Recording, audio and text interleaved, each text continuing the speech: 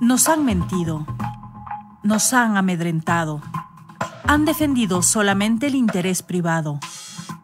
Pero la calle despertó y tiene su propia voz. La Ventana, el noticiero de la calle.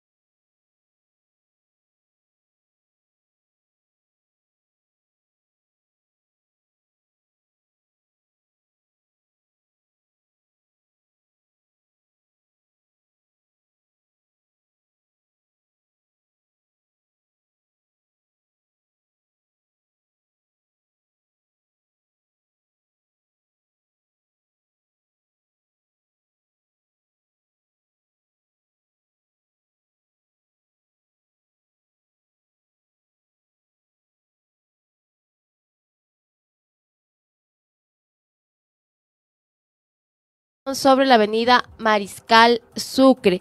Eh, la avenida ecuatoriana se encuentra habilitada. Creo que tenemos que empezar de nuevo. Sí, ¿en dónde nos quedamos? Eh, vuelvo entonces yo. Muy buenos días, queridas amigas, queridos amigos que se conectan a la señal de www.radiolacalle.com. Por un problemilla técnico estábamos haciendo aquí un ejercicio de, de mimos y ustedes solo podían ver nuestros gestos, ah, pero no, no podían ver nuestras, ah, no podían escuchar nuestra voz. Así que les ofrecemos disculpas por este mínimo lapsus que hemos tenido, pero ya lo corregimos eh, y, y estamos otra vez con ustedes. Un abrazo a todos quienes se conectan a esta señal. Muchas gracias por también a, Mar R. Vallas, nos, que nos decía que nos escuchaba, ella eh, nos, nos, um, nos, alertó, lo mismo que Janet Chillán, eh, pero ya, ya estamos ahora sí, ya, ya estamos junto a ustedes, muchas gracias, muchas gracias también por empezar a amplificar esta señal, no solamente la de la de esta de la página web www.radiolacalle.com, sino también la del Facebook y la de las otras redes sociales, es una forma también de apoyar este proyecto frontal eh, ciudadano y a veces también, bueno, en algunos casos de el equipo joven todavía de disputa del relato de la realidad que tenemos aquí en Radio La Calle. Un abrazo a todos quienes se conectan. Un abrazo a Carol Herrera, que también se despertó ya con la señal de Radio La Calle, lo mismo que Luis Eloy Salazar Franco.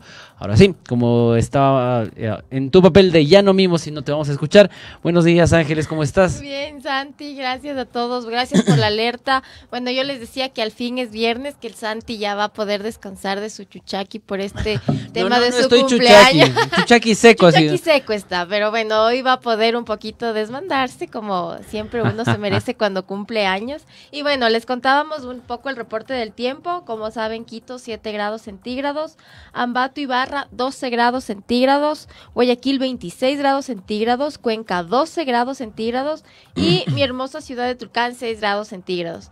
Como les recordaba, el hoy no circula rige para las placas 9 y 0 de 5 de la mañana a 8 de la noche y hoy se habilita el plan operativo de movilidad por trabajos de repavimentación sobre la avenida Mariscal Sucre. Les recordamos que la avenida ecuatoriana se encuentra habilitada para el paso vehicular en el sentido sur-norte, así que tome precauciones y sepa que el personal de la MT gestiona el control del tránsito. Bueno, los invitados del día de hoy vamos a conversar, como siempre hemos abierto la ventana del viernes para... Mm, para hacer estas denuncias ciudadanas, esta amplificar su voz, sus necesidades, eh, para que puedan tener una ventanita. Eh, por la que puedan expresarla. Pues eh, hoy nos, eh, en este espacio de denuncia ciudadana nos invita, nos, eh, nos visitará Giovanni Macías, él es hermano, ah, por llamada telefónica, sí, sí. Él, él, es hermano de una, de una ciudadana que falleció en el Hospital Público de Puerto Viejo por supuesta negligencia médica. También nos acompañará José Vázquez, representante de la Fundación Española Shu Sum Sang, que nos vendrá a contar acerca de un taller eh, eh, sobre de un retiro que va a haber en, eh, en Quito. Y además, eh, sí, esos dos son nuestros invitados de hoy. Además, eh, no se olviden que hoy tenemos a Gastrofonía después de este programa a las 9 de la mañana y en la tarde nuevamente como para celebrar sus, su tiempo aquí en Radio La Calle, Memoria Rock. Eh, Un abrazo, Luis Salazar Franco, que también nos escribe por interno. Eso, ese es el menú que tenemos para, para compartir con ustedes. Por favor, ayúdennos a, a reprisar, a reprisar, no, a compartir esta señal y no se olviden del reprise al mediodía eh, a través del YouTube. También nos podemos escuchar por ahí. Así que un abrazo a nuestros amigos del futuro que nos escucharán en YouTube. Son las 7 de la mañana, 9 minutos en Quito. Son las 7 de la mañana, no, la 1 de la tarde, 9 minutos en España. Y les mandamos un abrazo caluroso a todos nuestros amigos que están allá. Somos radiolacalle.com y así iniciamos este noticiero de la ventana. Les vamos a dejar la tomita de la ventana mientras, mientras suenan todas las cortinas. Bienvenidos.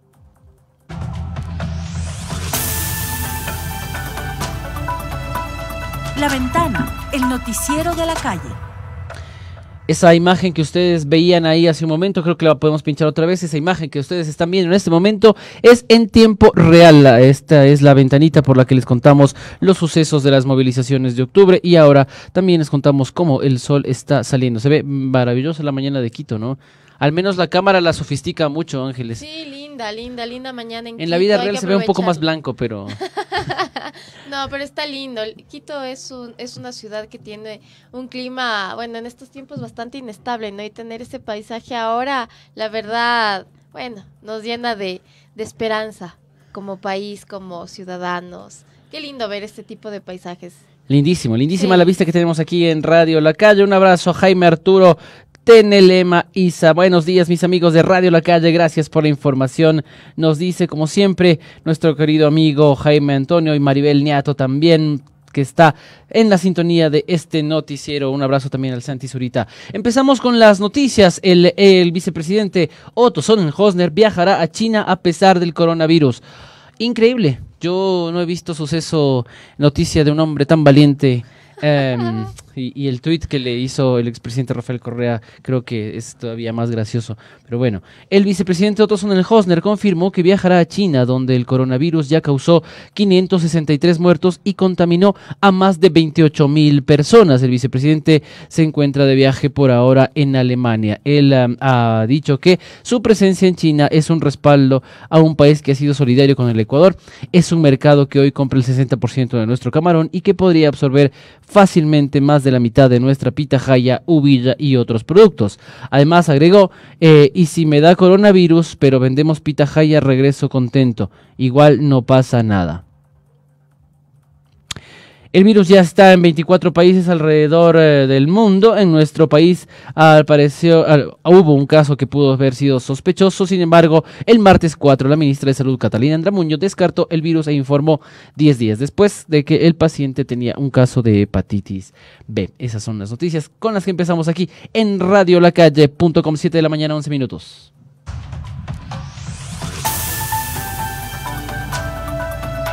Noticias con enfoque. La ventana.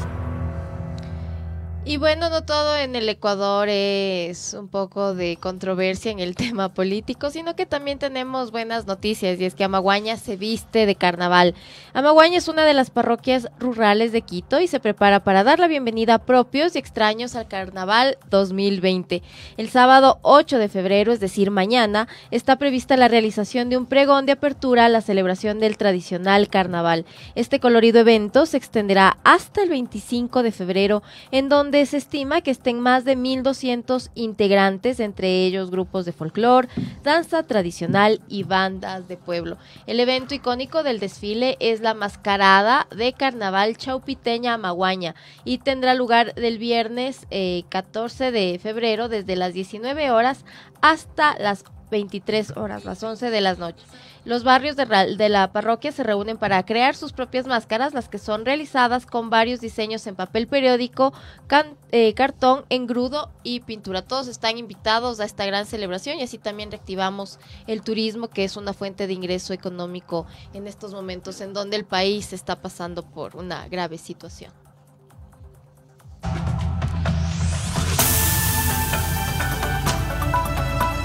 La Ventana, el noticiero de la calle. En otro ámbito de la información, les contamos que el Instituto Nacional de Estadísticas y Censos, el INEC, presentó los resultados del índice de precios al consumidor. La inflación mensual en enero del 2020 respecto a diciembre de 2019 fue del 0.23%, en tanto que la inflación anual de precios de enero del 2020 respecto a enero del 2019 alcanzó una reducción del 0.30%. Como referencia, en enero eh, del 2019 fue del 0,54%. Recordemos que el salario básico unificado está en 400 dólares para este año. Entre las acciones económicas de este gobierno están la Ley Orgánica de Simplificación y Progresividad Tributaria, la llamada Ley del 30 de diciembre, y también la renegociación del acuerdo pactado con el Fondo Monetario Internacional. Son las 7 de la mañana, 14 minutos. Nos vamos a una brevísima pausa para contarles lo que tenemos eh, programados el día de hoy para ustedes aquí en radiolocalle.com. Prepara tus cinco sentidos para deleitarte con lo mejor de la comida nacional e internacional en gastrofonía. Un espacio lleno de sabor con la conducción de David Lazar, todos los viernes de 9 a 10 de la mañana por Radio La Calle. Voy a cantar a mi Ecuador querido, tan amado y bendecido por su belleza sin par, y a su comida sabrosa, agasajo espiritual. Quiero dedicarle ahora un especial.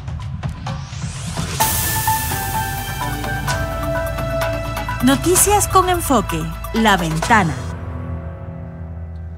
Son las 7 de la mañana, 15 minutos. Muchas gracias por continuar en nuestra sintonía. No se olviden, ya, ya lo escucharon en la publicidad. Después de este programa a las 9 de la mañana viene Gastrofonía con el chef de la calle, David Lazar. a la cifra de este día es el, son los 50.76 dólares que concorde al 6 de febrero, día especial para este, este servidor.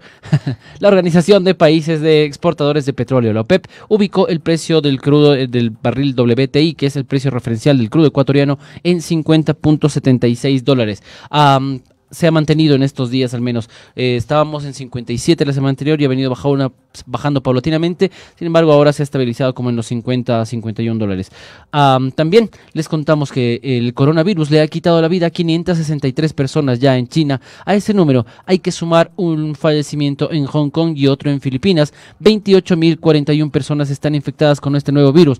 Eh, la noticia que tuvimos hoy en la mañana es que un ciudadano argentino que em, iba en un buque en un crucero, ¿no? Hacia, en, las costas de Japón, ah, también ha sido um, detectado que tiene el coronavirus. Así que hay un ciudadano argentino que también está infectado y que se suma a estas 28.041 personas afectadas por el coronavirus. Son las 7 de la mañana, 16 minutos.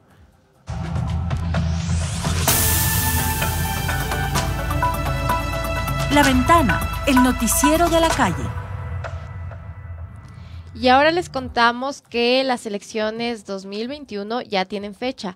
Las autoridades del Consejo Nacional Electoral, CNE, y el Tribunal Contencioso Electoral se reunieron para definir las actividades del calendario para las elecciones generales del 2021, Queremos que el país conozca los hitos del calendario en los que se trabajará de forma conjunta, dijo la presidenta del CNE, Diana Atamaín, y agregó que el 10 de febrero se realizarán los ajustes finales al cronograma electoral. El calendario comprende el cierre de la zonificación electoral, campaña de cambios de domicilio electoral, entrega del padrón e inscripción de organizaciones políticas, impresión de documentos electorales, así también como la inscripción de candidaturas, la fecha de convocatoria y otras actividades. El 28 de febrero del próximo año se elegirá presidente y vicepresidente de la República, además de asambleístas nacionales, provinciales, del exterior, y parlamentarios andinos. En caso de una segunda vuelta, la fecha sería el 11 de abril. Miramos a la calle buscando un horizonte En la ventana presentamos la entrevista del día. Bueno, son las 7 de la mañana, 18 minutos aquí en Radio La Calle y como siempre, como cada viernes, ustedes saben, hemos abierto esta ventana para que la ciudadanía pueda hacer sus denuncias públicas. Queremos conversar con ustedes a propósito de situaciones que vayan viviendo y que en las que la responsabilidad del Estado esté de por medio. Esta semana conversaremos eh, sobre un tema que está en la página web también de Radio La Calle, sobre un, un, hecho de negligencia en el Hospital Público Verdi Ceballos Balda de la ciudad de Puerto Viejo. Una mujer perdió la vida por supuesta negligencia médica en el Hospital Verdi Ceballos Balda, ubicado en Puerto Viejo, mientras permanecía hospitalizada en esa casa de salud por una labor de parto. Así lo confirmó el hermano de la fallecida eh, para Radio La Calle. Esta mañana nos enlazamos vía telefónica con Giovanni Macías, hermano de la mujer que falleció en este hospital público. Giovanni, buenos días. Eh, ¿Cómo está? ¿Cómo está usted? Primero le hacemos llegar nuestra, nuestra condolencia por la pérdida de su hermana. Cuéntenos qué ha pasado, cuéntele a la ciudadanía qué es lo que ha pasado en este caso. Muy buenos días con todos. Eh, tal vez nuestra familia, nosotros, las personas más allegadas a mi hermana, no nos hemos involucrado con ningún medio porque queríamos un poco de espacio, sí. Y ahora es como que nos sentimos un poco más preparados, más, más sueltos. Eh, mi hermana ingresó el 29 de diciembre del 2019 a las 3 de la mañana al Hospital Verde Ceballo porque había roto fuente en mi casa. Mi hermana ingresa a emergencia, le hacen la respectiva revisión, se dan cuenta de que mi hermana tenía tres de dilatación, pero que le iban a dejar internada porque mi hermana estaba perdiendo líquido. Una vez que le hacen la respectiva revisión, eh, a partir de las 4 de la mañana suben a mi hermana. Eh, el hospital Verdi Ceballos sigue un protocolo donde la mujer y el marido a partir de la semana 36 eh, recibe charlas eh, sobre el parto normal y diferentes enfermedades. Una vez que ellos cumplan con todas las asistencias, se le entrega un permiso donde el papá puede entrar al parto. Eh, mi cuñado tenía el, el, el, permiso para entrar al parto, pero al parecer el, el médico de turno eh, no está de acuerdo con eso. Pero como autoridades ellos debían hacer respetar las, las reglas y normas del hospital. ¿Y qué pasó? Entra su cuñado eh, al hospital eh, y está con, uh, con su esposa. ¿Y, ¿Y, qué empieza a pasar ahí? ¿Qué es lo que él ve? Eh, entró mi cuñado y entré yo. Eh, ¿A mi usted cuñado también? no lo dejaron, no lo dejaron entrar al parto. Eh, a mi hermana, a, a mi hermana la tuvieron en obstetricia eh, alrededor de 16 horas y ninguna de esas horas a nosotros nos informaron nada. Nosotros pedíamos información, ni siquiera salía ningún médico, no salía absolutamente nadie. Y al final, eh, ¿cómo está? Eh, y al final, ¿qué le dijeron? ¿Qué, qué, responsabilidad asumió el hospital? ¿Qué les dijeron? Eh, eh, ¿Cómo detallaron que fue la muerte de su hermana? ¿Ellos están de una u otra forma tal vez tomando responsabilidad de este caso? ¿O, o cuál es el procedimiento que está siguiendo en este caso el hospital? La verdad que yo mantuve una reunión con el gerente del hospital, el director del hospital, y ellos, eh, respecto a lo que yo le decía, toda la verdad que yo le decía, ellos simplemente me decían que de parte de ellos eh, van a entregar todo lo que nosotros pidamos con tal que eh, se determine por qué falleció mi hermana. Simplemente eso, solo nos dijeron eso. Mi hermana eh, tuvo una hemorragia posparto. Eh, mi hermana prácticamente se desangró. A mi hermana la entubaron sin nuestro consentimiento. A nosotros prácticamente nos botaron del hospital cuando una persona debería quedarse por si acaso eh, alguna me- medicina que tenga que comprar, algo, y a nosotros no nos dejaron quedarnos ahí. Al momento de que mi hermana la entuban, eh, nosotros no la dejaron ver, nosotros no sabíamos que mi hermana estaba entubada. Eh, gracias a una, a una pediatra que no se había puesto de acuerdo con el doctor en qué decir, fue que ella nos dijo que mi hermana no estaba respirando por cuentas propias. Ahí es cuando eh, mi familia se alarma, comienza a llegar el resto de mi familia, y ahí es como que hace el boom. La, la verdad que todo el hospital estaba enterado de lo que pasaba ahí, menos nosotros, incluidos los guardias, todo el mundo sabía todo, menos nosotros. A nosotros nos ocultaron información, nos dijeron que mi hermana simplemente se le había roto un vaso, eh, que habían tenido que volver a saturarla y del vaso que se le había roto eh, había, se había desangrado, había perdido mucha sangre. Mi hermana tenía un desgarre de cuarto grado cuando ellos nunca nos dijeron nada. Caramba. Eh, ¿Ustedes van a tomar algún tipo de medidas legales frente a este suceso? La verdad que sí, eh, estamos tomando medidas legales. nuestro objetivo es llegar hasta las últimas consecuencias y que paguen las personas que, tengan que pagar. Giovanni, ¿cuál ha sido la respuesta de los médicos eh, después de que eh, su hermana en efecto tiene este cuadro que se, que, se está desangrando? ¿Cuál es la respuesta de los médicos? ¿Qué hacen operativamente? ¿Cómo intentan solucionar el, el problema? ¿O no hicieron nada? Porque ustedes están aduciendo a negligencia? Eh, ellos no le prestaron atención que ella debía. Ellos pensaron que la, hemorragia había parado, colocándole un tapón a ella, cuando la hemorragia aún seguía por dentro. Eh, los enfermeros se descuidaron, los que tenían que estar cuidando a ella, revisándola constantemente. Ellos no estaban, no estaban, no estaban pendientes, subestimaron el caso de mi hermana. Eh, eh, sí, lo escuchamos.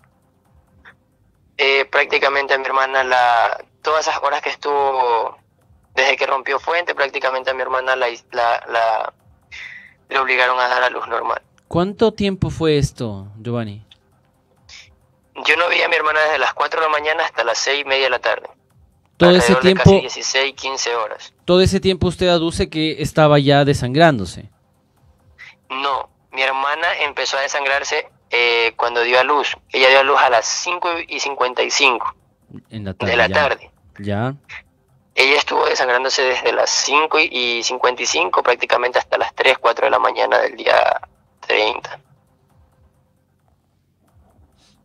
Le entendemos. Eh, Giovanni, eh, Después de eso, después de que los médicos en efecto no, no la atienden, de que los enfermeros no, no dan ninguna respuesta, eh, ¿qué, ¿usted tiene contacto otra vez con ella? ¿Cuándo se da cuenta de que el cuadro es realmente crítico? ¿Y qué hicieron eh, como familiares? El día que ella dio a luz, a las 10 de la noche, nueve y media casi, mi cuñado entró, mi cuñado la vio, ella estaba prácticamente como dormida eh, mi cuñado le, toca el brazo y ella despierta. Y ella lo único que le alcanza a decir es que se había ido en hemorragia, mucha, mucha hemorragia. Ella dice que había botado mucha sangre, ella le dijo. Pero los doctores no le permitieron hablar y hicieron que mi cuñado saliera del, de la sala de ella y voy a ver a la niña. De ahí a las 11 de la noche sale la doctora eh, la doctora que atendió el parto, porque son médicos residentes los que atendieron el parto. El doctor responsable de turno no se encontraba. No sé por qué circunstancias había salido del hospital, pero el, el doctor de turno no se encontraba. Él atendieron médicos residentes, a mi hermano. Sale el médico residente, nos dice que no nos podemos quedar ahí, eh, que apagaron, el guardia apagó las luces, prácticamente nosotros nos botaron del hospital. Cuando a, las 3 de la mañana, horas después, el hospital era como un, como loco todo el mundo que corría de aquí para allá por el caso de mi hermano. Giovanni... ¿Y nosotros? Sí, sí, sí, lo escuchamos. ¿Qué hicieron ustedes entonces? Nosotros, al, ver que apagaron las luces, nos dijeron que nos viniéramos, nosotros nos vinimos porque no, y nosotros les preguntábamos que cómo estaba mi hermana. A mi cuñado le dijeron que estaba todo bien, que no pasaba nada, que nos podíamos ir. Nosotros nos enteramos como a las 6 de la mañana eh, por un mensaje de la doctora, porque incluso a mi cuñado le pidió el número. Y donde la doctora le decía vengan porque su paciente se ha complicado. Nosotros llegamos, eh, el médico que debió estar él, cuando dio a luz estaba ahí y fue el que él salió a darnos la información de que mi hermana se le había roto un vaso, lo que ya le repetía yo. Ya, y que le habían puesto un pequeño tubo. Pero yo de tan preocupado que estaba no me no, no me concentré, concentré tanto en decirle para que ese tubo, ese tubito. Cuando llegó una tía fue que se topó con la, con la pediatra y la pediatra no se había puesto de acuerdo con el doctor en qué decir y la pediatra fue que nos dijo a nosotros que mi hermana no estaba respirando por cuenta propia. Qué pena. Bueno, este Giovanni, muchísimas gracias por haber eh, hecho esta denuncia otra vez eh, desde Radio La Calle nuestra solidaridad también, eh, por supuesto las condolencias para usted, su familia.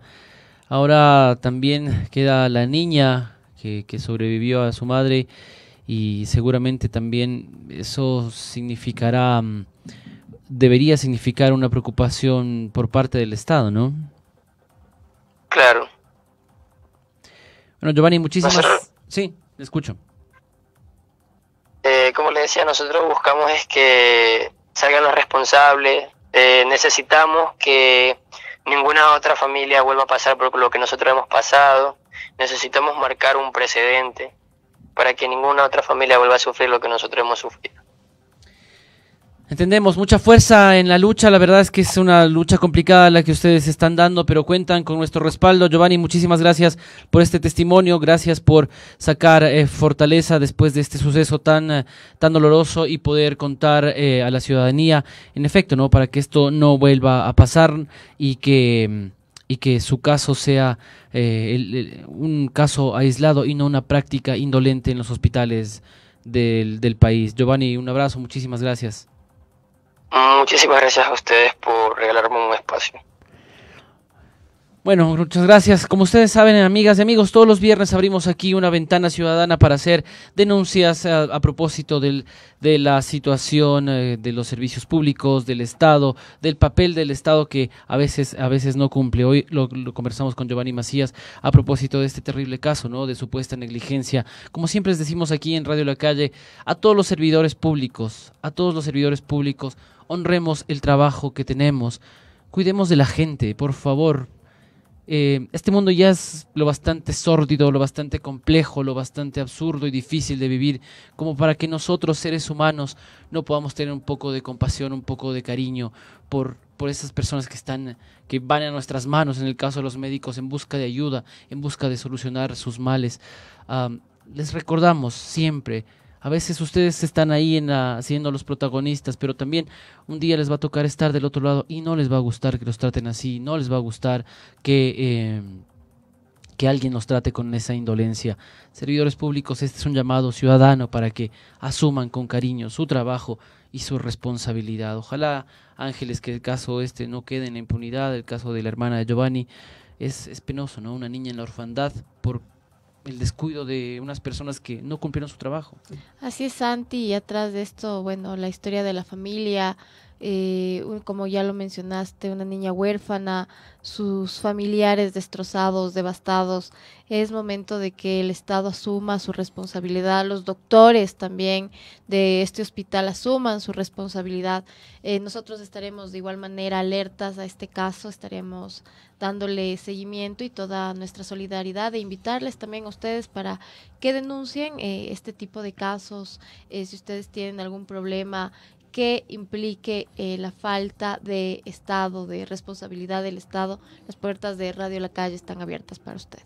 Muchísimas gracias por seguir en nuestra sintonía. Gracias a Isa y Surieta, que dice, hola amigos, al fin es viernes. Armando Peguamán dice, un abrazo desde Nueva York. Armando, muchísimas gracias. ¿Cómo está? Cuéntenos cómo está el clima allá en Nueva York. Acá en Quito sigue saliendo el sol. Ya les vamos a poner la imagen de la ventanita. Santi Zurita, a propósito de la noticia que dijimos del de Otto Sonnenhosner que va a ir hasta, mm, hasta China. Eh, dice, ojalá vaya con todo el circo. William Ríos, saludos, Radio La Calle, saludos. Eh, muchas gracias. Jorge Cisneros, eh, nuestro querido amigo Jorge, que siempre está pendiente de la programación de Radio La Calle y de este noticiero en particular, nos pide también, nos saluda y nos dice que, que, podamos investigar acerca de los familiares eh, em, de periodistas que tienen cargos diplomáticos en, en, el mundo. Ya les vamos a contar un poquito de eso también aquí. Buen día amigos, Carmita Chula Pintado como siempre, muchas gracias. otra vez Isai Surietas, Tania Fernanda como siempre está en esta, en, la, en la sintonía de radiolacalle.com. Mayra Keisa Luisa como siempre desde Madrid. Mayra, cuéntenos cómo están estos días. Nos había dicho que había salido un poco el sol. Cuéntenos ahora cómo amanece Madrid y un abrazo también para Marco Vera, para Jime y para Campo Elías Aguilar que están en sintonía de Radio La Calle. Nos vamos a una brevísima pausa. Regresamos con más información del ámbito deportivo, del ámbito cultural, del ámbito político y más novedades de este desgobierno. Volvemos tras la pausa. Memoria Rock, la historia reciente del rock ecuatoriano. Un encuentro radial que indaga la historia del rock nacional en más de cuatro décadas un proceso que merece ser narrado no solo desde lo musical, sino también desde la memoria y el testimonio vivo. Escúchanos los viernes de 18 a 20 horas por Radio La Calle. www.radiolacalle.com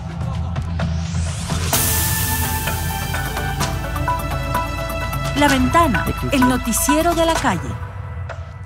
7 de la mañana, 34 minutos. Nos vamos con nuestro segmento deportivo. Muchas gracias por estar ahí, amigas y amigos. No se olviden que pueden estar enterados de la información deportiva también a través de la página de Radio La Calle, www.radiolacalle.com. Eh, la noticia del día es que Leonardo Campana ya fue inscrito para jugar en el torneo europeo. Nuestro periodista eh, deportivo José Rivera nos tiene los detalles de esta noticia. José, buenos días. Adelante, te escuchamos. Cordiales saludos, compañeros, a todos nuestros amigos de Radio La Calle. Muy buenos días. El futbolista Leonardo Campana, decimocuarto ecuatoriano que jugará en la Premier League, fue inscrito por el Wolverhampton Wanderers para competir en la fase de 16 avos de final de la UEFA Europa League ante el español de Cataluña programado para el 20 y 27 de febrero, partidos de ida y vuelta respectivamente. Además del delantero de 19 años, el guayaquileño, se suman el portugués Daniel Podens y el azerbaiyano Renat Dadasov para conformar una escuadra de 31 jugadores bajo las órdenes del entrenador Nuno Espíritu Santo.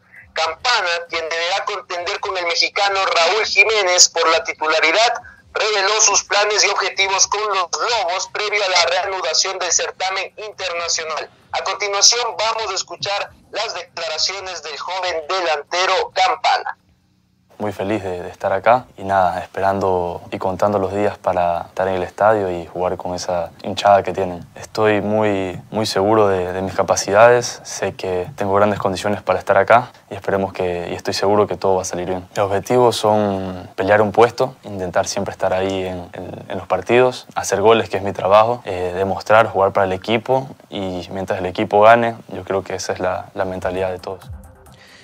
Eh, José, parece que Pablo Campana podría acercarse a cumplir un récord también, ¿no? Con su presencia allí en el fútbol europeo.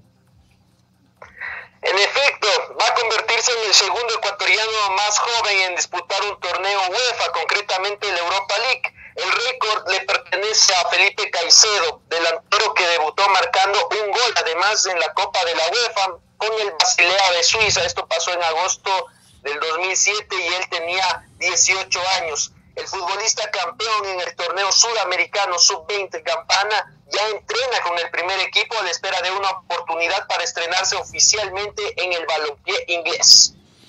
Bueno, muchísimas gracias José, gracias por la información deportiva. Eh, hay que estar atentos, ya viene el inicio del campeonato, ya los equipos están alistándose y nosotros estamos en tus manos para que nos tengas bien informados.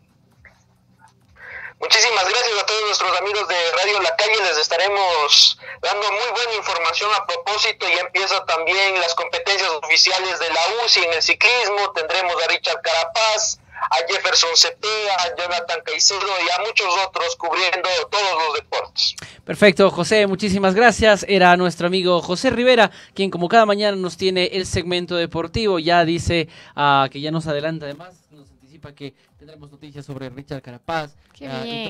los, todos los eh, deportistas ecuatorianos que están jugándose también su, su, su futuro, su cotidianidad ahí afuera ante los más grandes del mundo. Queremos darle un abrazo a Mayra Caiza Luisa que dice el reporte desde Madrid, dice que hay un sol radiante y también Blanca Paladines desde Loja, muchos saludos, cuéntenos eh, Blanca, ¿cómo está Lojita? Eh, como dice ella. Gracias chicos de Radio La Calle, saludos desde Ibarra, la ciudad blanca, a la que siempre se vuelve lindísima ciudad de Ibarra, además nos queda cerquita de Quito. Yo particularmente siempre estoy tentado a irme a, Ibarra. Son las 7 de la mañana, 38 minutos, qué bestia, cómo pasa el tiempo. Gracias por estar ahí en nuestra sintonía. Pausa rapidita y volvemos enseguida para seguirles contando todo lo que está pasando en el país eh, desde una perspectiva de clase. Regresamos.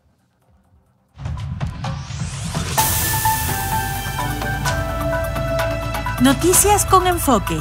La ventana. Prepara tus cinco sentidos para deleitarte con lo mejor de la comida nacional e internacional en gastrofonía. Un espacio lleno de sabor con la conducción de David Lazar, todos los viernes de 9 a 10 de la mañana por Radio La Calle. voy a cantar a mi Ecuador querido, tan amado y bendecido por su belleza sin par, y a su comida sabrosa, agasajo espiritual. Quiero dedicarle ahora un especial. Memoria Rock, la historia reciente del rock ecuatoriano. Un encuentro radial que indaga la historia del rock nacional en más de cuatro décadas. Un proceso que merece ser narrado no solo desde lo musical, sino también desde la memoria y el testimonio vivo. Escúchanos los viernes de 18 a 20 horas por Radio La Calle.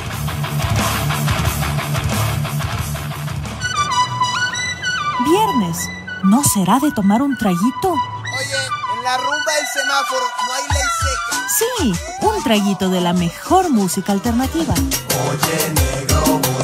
Somos radiolacalle.com.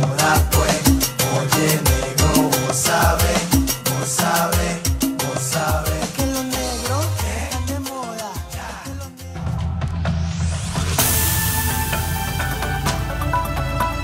La Ventana, el noticiero de la calle.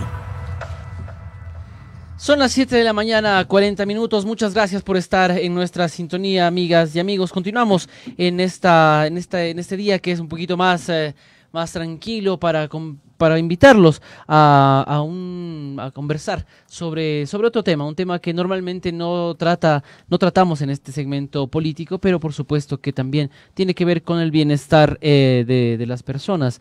Eh, hoy nos acompaña José Vázquez Castaño, él es representante de la Fundación Española Chu Subsang eh, y nos viene a traer eh, buenas nuevas. José, muy buenos días, ¿cómo estás? Buenos días, buenos días. Bien, todo muy bien. Bueno, no, me- está bien el audio perfecto. Sí. Eh, nos vienes a contar acerca de un, un retiro que, que están organizando ustedes. Ajá.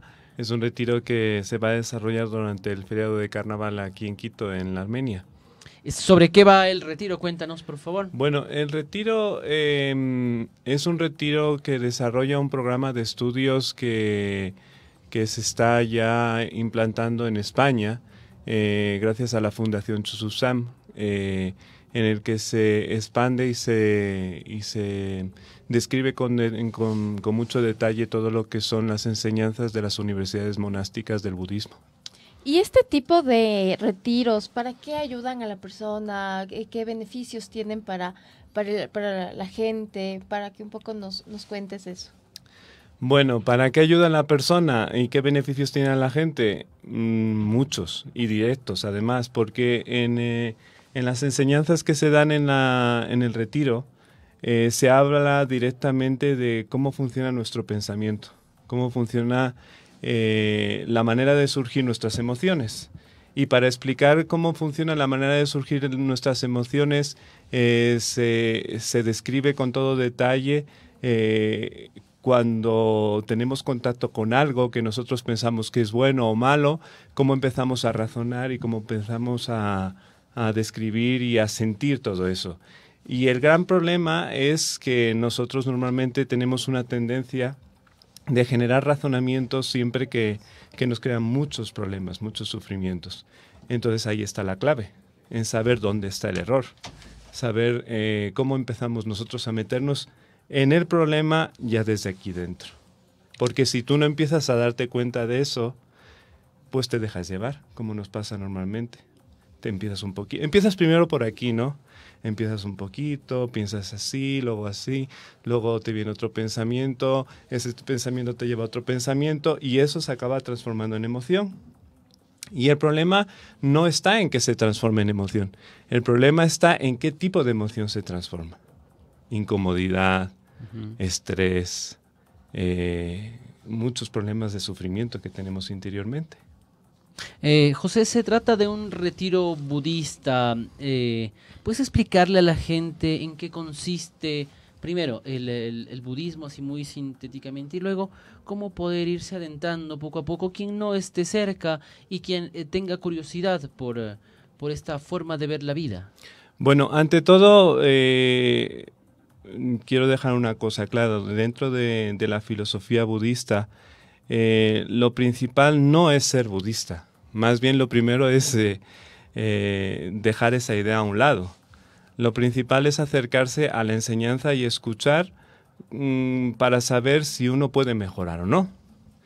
Bueno, la filosofía budista, como muchos sabrán, pero por si acaso no saben, surgió hace más de 2500 años en India eh, gracias a, una persona que se llamaba en ese entonces Siddhartha Gautama, príncipe de un reino. Entonces él se dio cuenta de que a pesar de todas sus comodidades que tenía, porque claro, era un príncipe de un, de un reino hace 2500 años, pues tenía todo, ¿no? no le faltaba absolutamente de nada. Pero a pesar de todas sus eh, comodidades que tenía, siempre sentía que algo faltaba y que todo eso que tenía a su alrededor no, no, no le iba a llenar por completo, que es algo que nosotros sentimos muchas veces en el día a día. Y sobre todo se dio cuenta de grandes problemas que, que no podía solucionar por más que tuviera muchas comodidades, entre ellos principalmente el envejecimiento, la enfermedad, y la muerte. Entonces llegó un punto en el que dijo, yo tengo que solucionar esto de alguna manera, tengo que buscar un porqué a todo esto. Y eh, llegó un punto en el que decidió dejar todo. Si para nosotros, por ejemplo, ustedes son periodistas y están aquí trabajando en la radio, para nosotros, dentro de nuestras comodidades y de nuestro ámbito, nuestra zona de confort, a veces es difícil dejar nuestras cosas. Imagínense ser un príncipe de un reino con todo lo que tienes a tu alrededor y todas tus responsabilidades, ¿no? Y decir, lo dejo. Es muy difícil, sobre todo por la presión que tienes alrededor. Y él lo dejó. Y empezó a buscar, a buscar, a buscar hasta que eh, después de buscar mucho se empezó a dar cuenta que todos sus problemas estaban en su interior, aquí, en la manera de, de funcionar de su conciencia. Y profundizó, profundizó, profundizó, profundizó el budismo se llama que eh, llegó a un punto en el que alcanzó la iluminación. ¿Qué es la iluminación? Porque a veces uno dice la iluminación, pues parece que se le enseñó un montón de focos por ahí. bueno, la iluminación es algo muy sencillo. Es un, mm, un nivel de conciencia, un nivel de mente que ha conseguido eliminar cualquier tipo de mente negativa y cualquier rastro de razonamiento negativo eh, al punto que ya no surgen más, y a la par que tú eliminas cualquier rastro de razonamiento y pensamiento negativo, a la par se desarrolla al máximo el pensamiento y el estado de conciencia positivo. De manera que eh, no tiene ningún tipo de límite ese tipo de conciencia. Eso es el estado de la iluminación. Entonces eso es lo que eh, en esencia busca el budismo. Eh, encontrar en cada uno en su interior ese nivel de iluminación, pero claro, lógicamente para llegar a eso hay que encontrar un buen camino muy claro, que no tenga eh, contaminación, que, que, que, esté bien conservado, ¿no? ¿Quién va a dirigir el taller? Porque aquí dentro de la un poco la, propaganda que tú nos diste está un personaje que va a dirigir el, el, retiro budista. ¿Quién es? Cuéntale un poco a la gente para que sepa quién va a estar, digamos, a cargo de esto. Ya, muy bien. Bueno, el maestro que va a dirigir la enseñanza es el Lama, el venerable Geshe Tenzin Tanding claro, en- nosotros en Occidente, pues la mayoría de la gente no conoce. El venerable Geshe Tenzin Tandin es un grandísimo maestro del budismo tibetano y del budismo en general. Eh, él nació en el Tíbet y eh, nació en el Tíbet ya cuando, cuando el Tíbet estaba invadido por China. Alrededor de los 12 años huyó del Tíbet por los Himalayas para llegar hasta, hasta la India, donde estaban refugiados los tibetanos. Entonces allí él tomó los hábitos de monje y eh, se involucró completamente en todo lo que es el programa de estudios de, de las universidades de filosofía budista. Eso implica que un programa de estudios de las universidades de filosofía budista estamos hablando que pueden durar fácilmente más de 20, 25 años. Pero él en, no sé, muy poquito tiempo culminó todo y consiguió lo que nosotros en nuestro eh, ámbito llamamos el doctorado en filosofía budista. Lógicamente, como él había nacido ya en un momento en el Tíbet en el que eh, China había invadido al Tíbet, él ya sabía hablar chino y el Dalai Lama eh, le pidió que por favor le, ayudara para traducir muchas de sus enseñanzas eh, al chino. Entonces él estuvo mucho tiempo ayudando al Dalai Lama a- en, en las traducciones de sus enseñanzas y es discípulo de él directamente. Luego el Dalai Lama le, indicó que era bueno que fuera a dar enseñanzas a otros centros de Taiwán, Singapur, Malasia. Y eh, pasando el tiempo, uno de sus tíos, que también era un gran, un gran lama, un gran yogi de- del budismo, eh, él había ido, el, tío de Geshe Tenzin había ido a España, porque unos españoles le habían invitado allí, y ya llevaba unos años en España. Entonces eh, eh, al tío de Geshe Tenzin Tandin le nombraron abad del monasterio y no se podía hacer cargo de estos centros. Eh, luego, en, en un par de años, no mucho tiempo, en el 2002, falleció su tío y le dejó a cargo de los centros de España. Entonces, cuando él llegó a España, había creo que cuatro centros y, y de ahí se empezó a desarrollar. Hasta la actualidad hay veintipico de centros en España a cargo de él. Se está creando una universidad monástica en el norte de España que ya está bastante avanzada eh, cuyo objetivo es, pues lógicamente, centrar eh, todo lo que, o, recoger todas las, eh, la doctrina de la filosofía budista, pero además en el proyecto está integrado, integrar también todo lo que es el canon del cristianismo, del el islam, del judaísmo, que sea un encuentro de, de todas las creencias. Y ahora van a estar, perdón, eh, ahora van a estar del 21 al 25 de febrero en la Armenia, en la casa Estela Maris. ¿Cómo la gente se puede contactar? Eh, ¿Tiene tal vez esto algún costo para, eh, para que la gente sepa y pueda contactarte y pueda saber más acerca de este evento? Bueno, para el retiro, eh, la manera de contactar ahí los teléfonos, eh, 099 9793361. Hoy tienes que repetirlo y más despacio, porque si no, no lo van a. Hay eh, los correos electrónicos, gandenchoelinquito.com, luego lo, lo describo más, más lentamente. Y es un retiro que empieza el viernes 21 a las 3 de la tarde hasta el martes 25 de febrero que finaliza después de, de almorzar. Entonces en el retiro está incluido principalmente todas las enseñanzas y, y lo que son, bueno, todo lo, lo que implica estar ahí, como estar conviviendo, ¿no? Alojamiento, almuerzos y todo lo demás. Perfecto. Entonces les repetimos desde el 0999 793 361. Ujú. Perfecto. Perfecto, José, muchísimas gracias, mucha suerte en el evento y pues eh, que, que vaya bien todo. Muchísimas gracias y gracias a ustedes por invitarnos, ¿no? Bueno, Gracias. con muchísimo Gracias. gusto. A ustedes también, amigas y amigos, muchas gracias por continuar en la sintonía de Radio La Calle este viernes que es un poquito, un poquito, un poquito nada más más relajado. Eh, pues compartimos con ustedes temas que también nos puedan aliviar el alma y el cuerpo. Vamos a una pausita, regresamos enseguida, pero les quiero... Ah, sí, a propósito del, del tema, quería saludar a Mini Lore Padilla que dice es un excelente retiro, he ido dos veces y me ha ayudado mucho a mejorar. Eh, y Patti Melizale dice el mejor regalo en esta vida y que nos va a servir para apaciguar nuestro bullicio mental. Así que si ustedes están interesados, ya lo saben, es el 099 eh, 973 93361. Así es. Perfecto, muchas gracias amigas y amigos. Volvemos después de la pausita. Somos radiolacalle.com. Prepara tus cinco sentidos para deleitarte con lo mejor de la comida nacional e internacional en gastrofonía. Un espacio lleno de sabor con la conducción de David Lazar, todos los viernes de 9 a 10 de la mañana por Radio La Calle. a mi Ecuador querido, tan amado y bendecido por su belleza sin par, y a su comida sabrosa, agasajo espiritual, quiero dedicarle ahora un capítulo especial.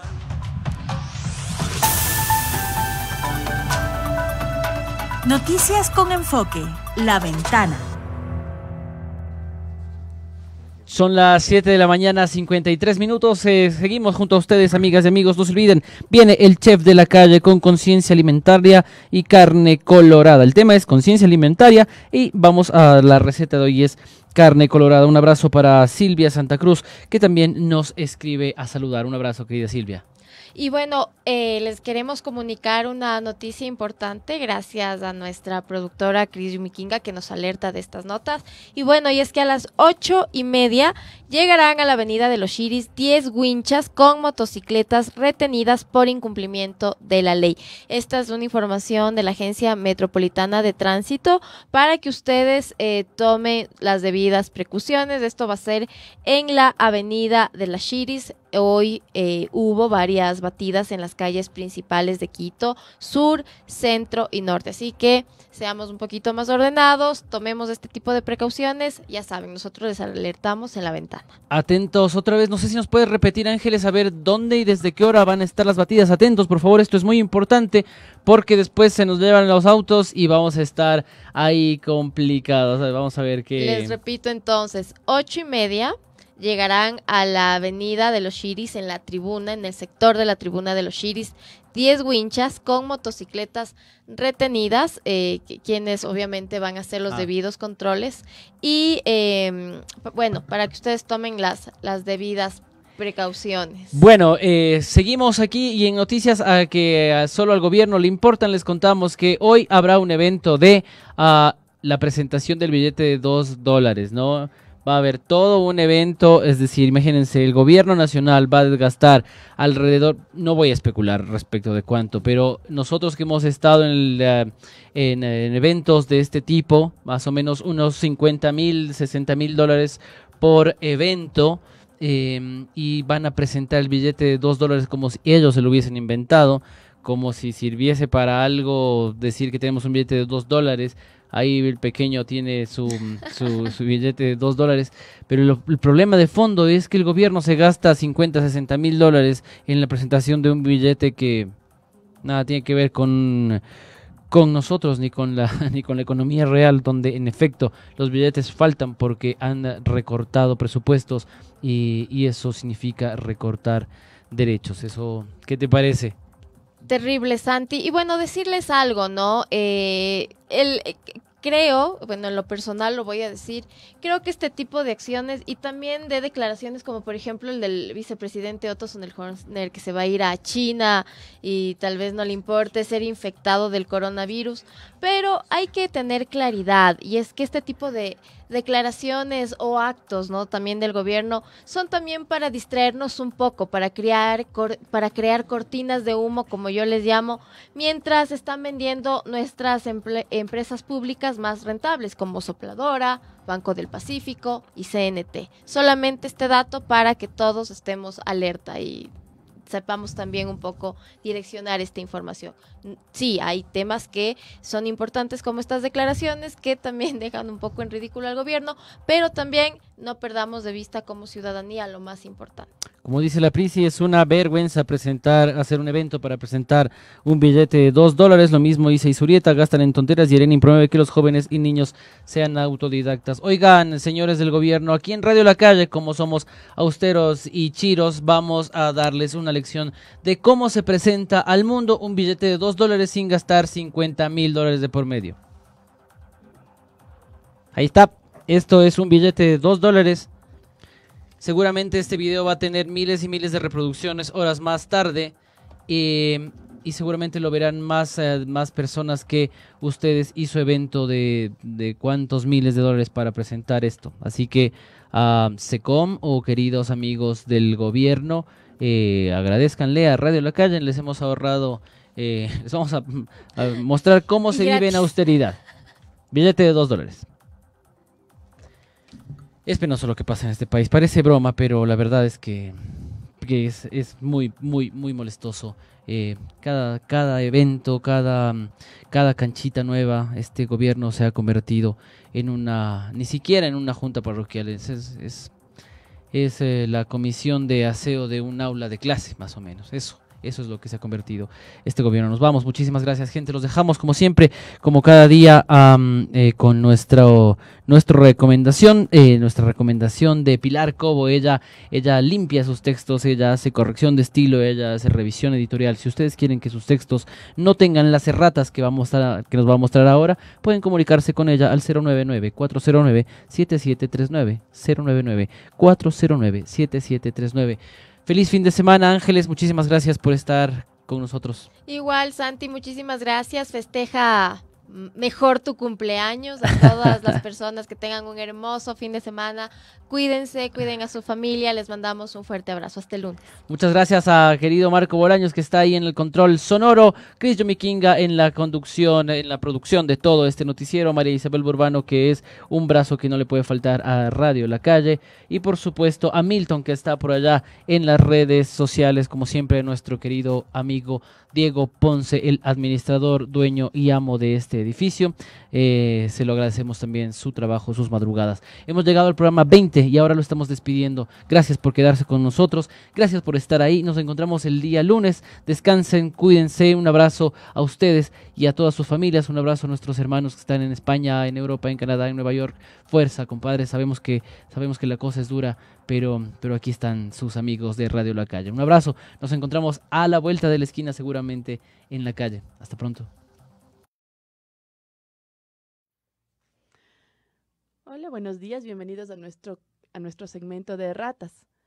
Hoy les he traído tres titulares que tienen que ver con la concordancia entre sujeto y verbo. Veamos el primero. Asociación de Mujeres Shuar y Quichua ofertan comidas en Mercado de Puyo. ¿Cuál es el error aquí? El sujeto de la oración no son mujeres Shuar y Quichua, sino Asociación de Mujeres Shuar y Quichua. Por lo tanto, el verbo debería estar en singular, no en plural como en este caso. Aquí tenemos otro. El millonario, la influencer y el divorcio que conmociona a Corea del Sur. Pasa lo mismo. El sujeto son tres personas, es un sujeto compuesto. El millonario, el influencer y el divorcio. Entonces los tres conmocionan a Corea del Sur, no solamente uno. Si el verbo está en singular, parece que solamente el último nombrado, entonces el divorcio, fue el que conmocionara a Corea del Sur. Y ahí veamos este último. La falta de empleo y la inseguridad empuja a más ecuatorianos a volver a España e Italia. Pasa lo mismo que en el ejemplo anterior. Tenemos un sujeto compuesto por dos elementos. Entonces el verbo debería concordar con este sujeto compuesto en, en plural y no debería estar en singular. Lo correcto sería la falta de empleo y la inseguridad empujan a más ecuatorianos a volver a España e Italia. Si tienen dudas sobre gramática, ortografía o redacción, pueden comunicarse con nosotros a MPC Asesoría Lingüística. Nos han amedrentado. Han defendido solamente el interés privado. Pero la calle despertó y tiene su propia voz. La ventana, el noticiero de la calle.